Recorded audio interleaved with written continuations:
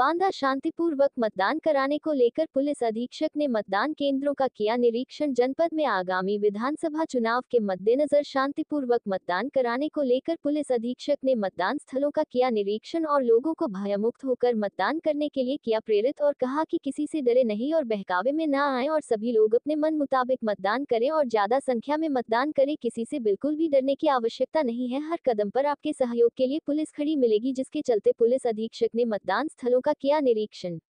आपको बता दें कि पूरा मामला बांदा जनपद के मुरवल कस्बे का है, जहाँ पर मुरवल कस्बे में मतदान केंद्रों का पुलिस अधीक्षक बांदा अभिनंदन किया निरीक्षण और निरीक्षण कर ग्रामीणों को सुरक्षा का दिलाया भरोसा और कहा।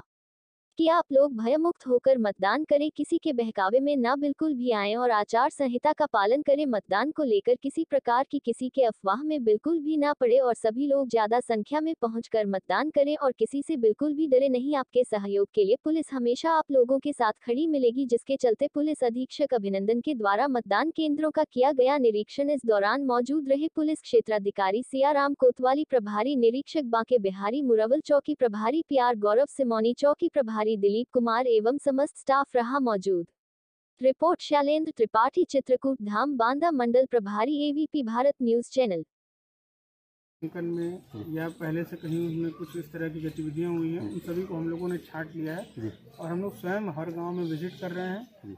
जो। भी अराजक तत्व हैं वहाँ पर उनको एक संदेश दिया जा रहा है रेड कार्ड दिए जा रहे हैं उनके विरुद्ध निरोधात्मक कार्रवाई की जा रही है।